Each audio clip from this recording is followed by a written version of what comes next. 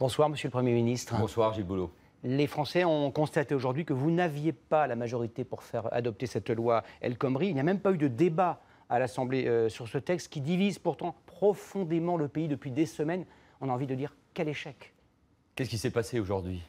Nous faisons passer un texte, une loi, une réforme euh, essentielle pour les entreprises et importante pour euh, les salariés. Plus de souplesse pour les entreprises, pour permettre l'embauche, parce que le problème essentiel du pays, Gilles Boulot, c'est le chômage. C'est le chômage qui touche les jeunes, les précarisés, ceux qui ont le moins de qualifications, le moins de formation. Je pense aux femmes, je pense aussi aux habitants des quartiers populaires.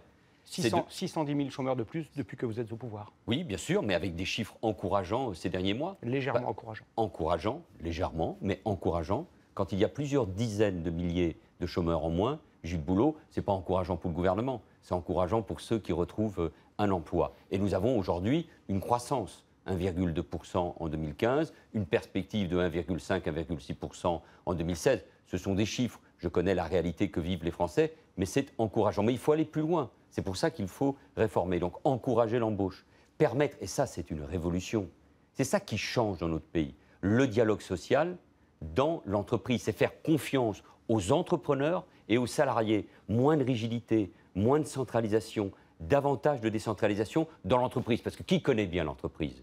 Sinon les entrepreneurs et les salariés qui travaillent dans euh, ces entreprises. Et enfin, euh, plus de droits pour les salariés à travers cette sécurité sociale professionnelle à travers ce compte personnel d'activité et avec des mesures notamment pour les jeunes, notamment ceux qui décrochent, qui se retrouvent sans formation. C'est ça qui compte pour moi. C'est ça qui compte pour moi, pour Myriam El Khomri qui a porté avec courage et avec beaucoup d'abnégation ce texte, parce que c'est l'intérêt général que nous devons euh, servir. Alors oui, il y avait un problème de majorité, parce que les contraires se rencontraient. Qui sont les contraires? Ceux qui veulent s'en prendre à notre modèle social, du côté de la droite, qui veulent supprimer des dizaines de milliers euh, de postes de fonctionnaires, qui veulent mettre en cause les corps intermédiaires, c'est-à-dire le rôle des syndicats et donc du dialogue social, ou ceux qui pensent qu'il faut rester à ce qui existait jusqu'à maintenant. Donc les conservateurs se retrouvent pour empêcher cette réforme. Et moi, vous, vous pensez un seul instant, Gilles Boulot, que ça me fait plaisir d'utiliser une arme constitutionnelle qui a déjà été utilisée 83 euh, fois depuis 1958. À laquelle vous étiez fermement opposé en 2008. Qui a été utilisée 28 fois. à laquelle vous étiez opposé, par principe. Par son utilisation, son utilisation répétée. Euh. Mais elle a été utilisée, par exemple, 28 fois par Michel Rocard. J'étais son collaborateur. Vous pensez un seul instant que Michel Rocard, comme d'autres, mettait en cause les institutions ou faisait preuve de brutalité Non. Ça, ça me fait mal au cœur d'avoir à utiliser ce type euh, d'instrument prévu dans la Constitution. Mais Nous sommes dans la Oui, je le fais pas pour passer en force, Monsieur mais tout simplement parce que je pense que ce texte est utile. Je voulais vous ramener à un point d'arithmétique euh, politique. Euh, les Verts, les communistes et les frondeurs de votre parti vont se réunir demain pour savoir si oui ou non ils s'allient, ils s'agrègent à cette motion de censure déposée par la droite. Est-ce que vous craignez demain, ou plutôt après-demain, d'être, euh, ben voilà, de perdre le pouvoir et d'être renversé avec, votre gouvernement? Non. Mais moi, ce qui compte, c'est la, c'est Vous ne le craignez pas? Non, je ne le crains pas. Mais ce qui compte pour moi, c'est n'est pas l'arithmétique, c'est de pouvoir réformer. Vous savez, moi, je l'ai déjà dit au cours de ces derniers mois, avec euh, ce que notre pays a, subi, les attaques euh, terroristes, avec les défis que nous avons à, relever, le défi climatique, mais d'abord faire en sorte que le chômage recule, redonner au fond de l'espoir à, mes compatriotes. Donc, moi, les calculs euh, politiciens, les attitudes comme celles que nous avons connues ces dernières heures, vous avez dit quelque chose qui n'est pas tout à fait juste. Vous avez dit qu'il n'y avait pas eu de débat à l'Assemblée. Si, il y a eu un débat au sein de la commission des affaires sociales. J'ai dit pas, dans travail, pas dans l'hémicycle. Un travail remarquable. aucune, pas une minute de débat dans l'hémicycle. Non, ce n'est pas vrai. Un travail remarquable du rapporteur Christophe Serrug, qui a bâti un compromis. Parce que nous avons écouté, il y a eu des erreurs, je les ai assumées au début dans la présentation du texte, nous l'avons corrigé. Ce texte est soutenu par euh, les syndicats réformistes comme la CFDT, la CFTC, euh, l'UNSA, la CFE-CGC, le syndicat étudiant euh, la FAGE,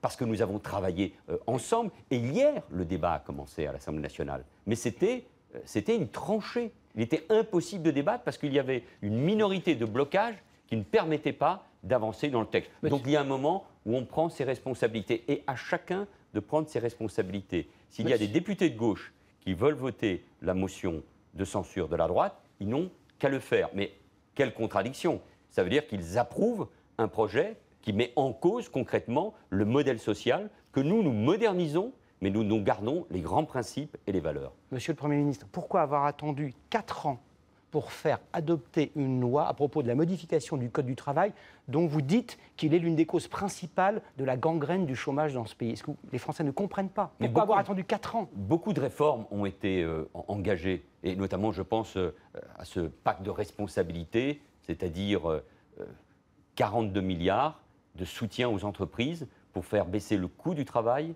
et la fiscalité sur les entreprises qui a trop augmenté au cours des années euh, précédentes. Et nous en avons les résultats. Les entreprises aujourd'hui, notamment les PME, parce que c'est dans les PME qu'il faut embaucher, et cette loi, cette loi du travail, cette loi présentée par Myriam El Khomri, cette loi que j'ai défendue encore aujourd'hui à l'Assemblée nationale, elle permet davantage d'embauches, donc, et notamment dans les petites et moyennes entreprises, là où travaille l'immense majorité de nos concitoyens, euh, ces artisans, ces commerçants, ces indépendants et ces patrons de PME qui, euh, écoutez, font un travail tout à fait remarquable, qui s'engagent tous les jours, qui ont envie euh, d'embaucher, notamment ceux qui aujourd'hui n'ont pas d'emploi ou, qui ou qui ont une qualification trop faible. Donc, cette loi, elle va dans le bon sens. Beaucoup de choses ont été faites et nous continuerons à réformer.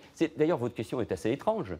On ne pourrait pas réformer un an avant euh, la fin euh, du quinquennat Il faudrait tout arrêter Non, nous allons continuer à réformer. Je pense à cette loi sur le travail, je pense à la loi qui va arriver sur l'égalité et les citoyennetés, parce que l'égalité, c'est ce qui est au cœur de la gauche, qui est au cœur de l'action de mon gouvernement. Nous allons continuer à réformer et à faire ce travail que les Français attendent de notre part, répondre d'abord à leurs aspirations, à leurs inquiétudes, euh, à leurs espoirs. Monsieur le Premier ministre, on a beaucoup entendu ces dernières semaines euh, François Hollande qui nous dit que tout va mieux. On a beaucoup entendu le ministre de l'économie Emmanuel Macron qui nous dit que tout irait encore mieux si la France était un peu plus libérale. Euh, vous trouvez votre place entre ces deux très fortes personnalités? On a le sentiment qu'ils vous étouffent un peu. Vous êtes pris un peu en sandwich entre les deux. Vous, pensez que je me laisse étouffer? Non. Vous pensez que j'ai pas de. Euh, Est-ce que vous avez ce sentiment-là parfois? Non. Mais... non?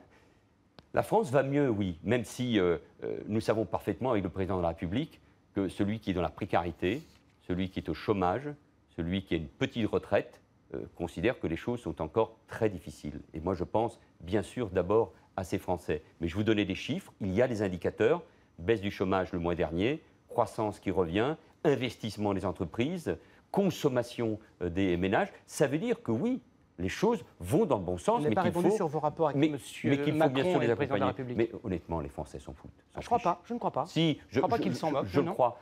Moi, j'anime une équipe avec des talents. Nous avons parlé de Myriam El Khomri. Emmanuel Macron est un autre talent. C'est ensemble que nous devons travailler. Ce que les Français ne supportent pas, parce qu'il y a une crise de politique, mhm. il y a un rejet de la politique. Chacun le constate, vous le constatez euh, vous-même. Ça se traduit par l'abstention, par euh, la montée euh, de l'extrême droite. Et vous pensez que dans ces moments-là, avec la gravité des défis que nous avons euh, devant nous, euh, moi je me laisserais euh, embêter par des querelles de personnes. Non, chacun et chaque ministre doit accomplir son travail. Les Français ne supporteraient pas que nous ayons un autre agenda, que nous pensions à nos propres ambitions, alors qu'il n'y a qu'une seule ambition aujourd'hui, c'est de servir la France. Alors Manuel Valls, cet après-midi, outre la loi de travail dont nous venons de parler, un autre sujet était au cœur des conversations au Palais Bourbon,